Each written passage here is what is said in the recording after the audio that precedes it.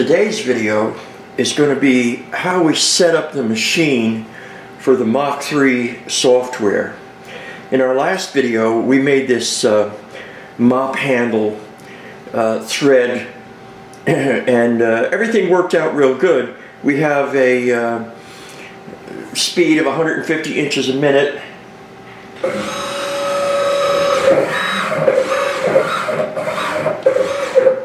it's pretty quick.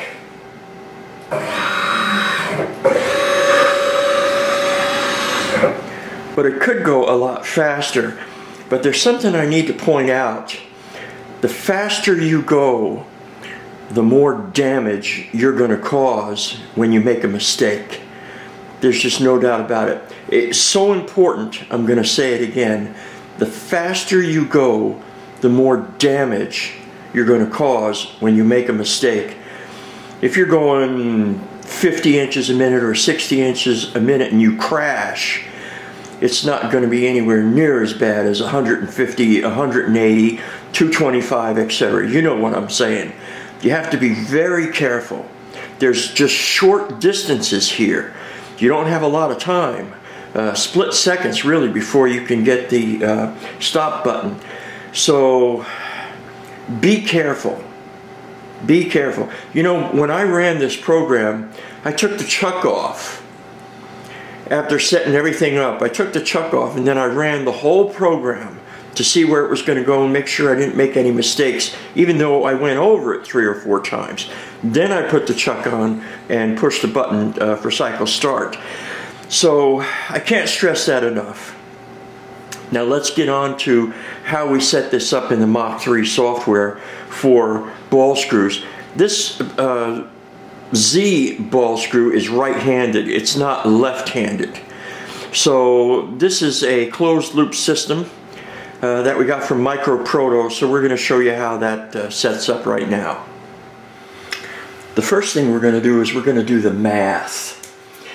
We have a 2.5 millimeter uh, screw, meaning that uh, each time it turns around, it's uh, 2.5 millimeters. That is equal to 0.09842, and it goes on and on and on for a whole lot of numbers.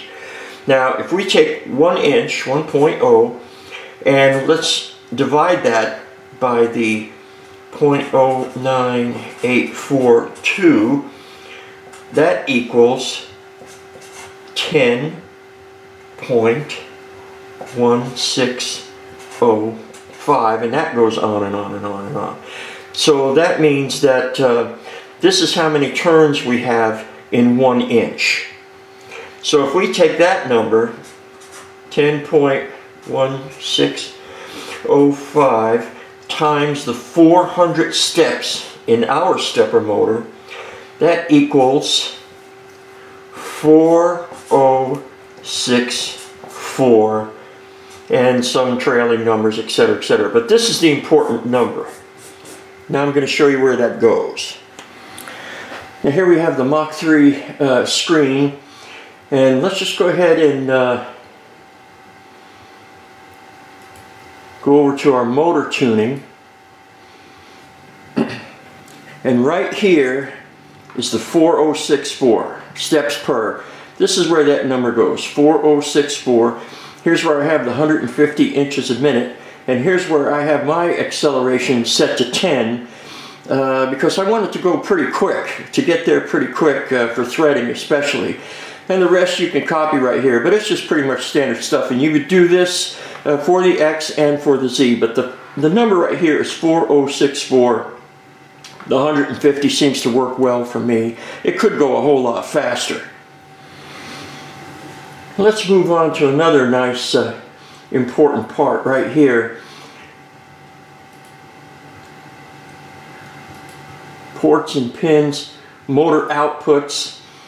Now you'll notice right here we have the X and the Z, this is for the lathe, and we have, uh, this is for my closed loop system, we have uh, pins 5 and 4. Now here is normally a green check mark. That's for a left-handed thread Z.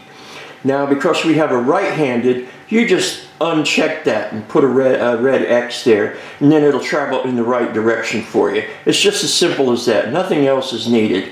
But you'll see normally uh, three check marks green, just put an X right here and that will take care of the right-handed thread. So now this is just a quick review. Uh, this is where I set my machine home, all the way up at the top and all the way back. And so here is our uh, spindle center. Everything on this side is plus. Everything on this side is minus.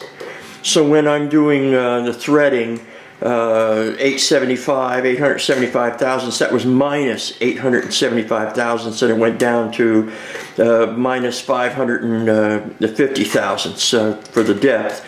And on this side, when we were turning it, it was plus. It was uh, uh, 900, 875, but it was all plus on this side. So that way, I get the best use out of the tools. But remember, the faster you go, the more damage you can create. You guys have a lot of fun with this.